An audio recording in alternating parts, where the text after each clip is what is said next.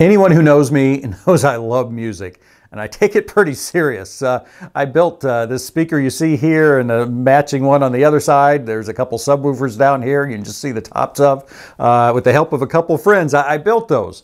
I arrange my office so that my chair is in the prime listening spot, right in, the middle of those. And I end a lot of days just listening to music. Again, I, I really like it. And I think God's people have always liked music and, and realized, and God realizes how important it is. That's why an entire book of the Bible is the hymn book of the Old Testament.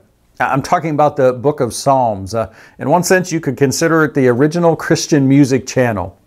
Well, I hope you like this video over a psalm, and if so, then uh, if you do me a favor and click the thumbs up, uh, leave a comment, I always love that, and or share it on a social media site like Facebook, that would be a huge help. Thanks a lot.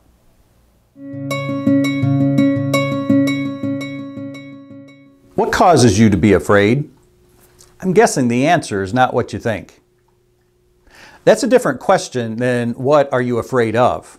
You know, for that, your answer might be like many people uh, fear of the dark, or speaking in public, or snakes. But that's not what causes you to be afraid.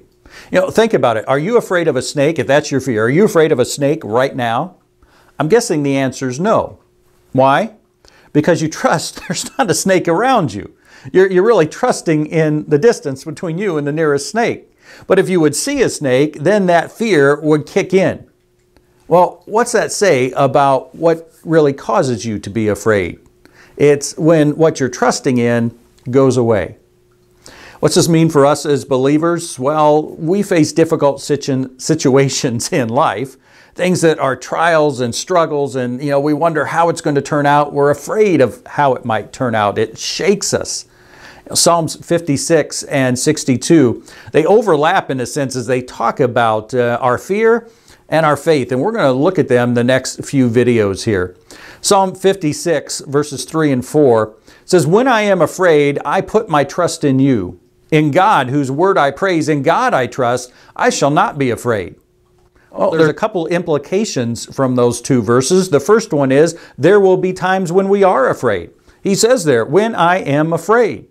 A devoted follower of God We'll be afraid sometimes. Things will hit us, and our first response will be to be shaken, to be have fear, you know, that knot in the pit of our stomach. But there's another implication as well from these verses. You notice he says, When I am afraid, I put my trust in you. Well, that means before he was afraid, his trust to some degree wasn't in God. It wasn't there, and that's what led to him, that's what caused him to be afraid. Whatever his trust was in went away. It proved to be not enough. Well, what are some of our alternatives? He lists in Psalm 62 riches. Sometimes we think if I have enough money, uh, uh, enough resources, I'll be able to weather any storm. You know, it says in verse 10 of Psalm 62, put no trust in extortion, set no vain hopes on robbery. Good. If riches increase, set not your heart on them, or however it comes about. And he makes the point in verse 9 because those of low estate are but a breath, those of high estate are a delusion. In the balance they go up, they are together lighter than a breath. Now, can riches, you know, finances, wealth help us weather some storms? Yes. But there comes a, a, limit that even those don't help with, with our health certainly facing death, relationship issues. No, but it's so tempting to put our trust in them. Or to put our, our trust in, in maybe our, our power that we have, you know, from our whatever position we have. I have enough influence to deal with this.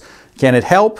Yes. Will there be times when it's not enough? Yes. And if our trust is in them, we'll be afraid. You know, sometimes I think what we put our trust in as believers are, are some limit you know, God, I know I'm going to face difficulties. I know I'm going to face trials, but I trust it won't be too bad. It won't be in this area. It won't last that long. And then it does. And we realize I was trusting in those things, not God. Or the very least, I was trusting in God and those things. And that's why it right he says in Psalm 62, verse 5, For God alone, O my soul, wait in silence, for my hope is from him. That's a key thing. Sometimes we're trusting in God and something else, and really it's more the something else because when that goes away, the fear sets in, which tells us I, wasn't trusting in God. So, what do we need to do? when we face these? Well, first of all, I, do need to realize fear is the natural response, even for a follower of God. My first gut reaction, I may well be afraid.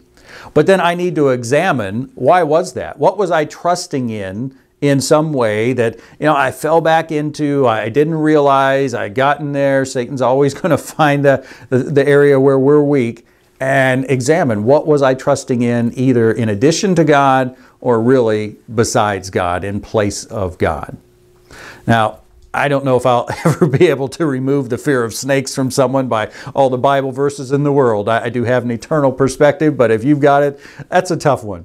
But when life throws us some difficulties, when there's challenges and we don't see how we can overcome them, it's still possible not to be afraid.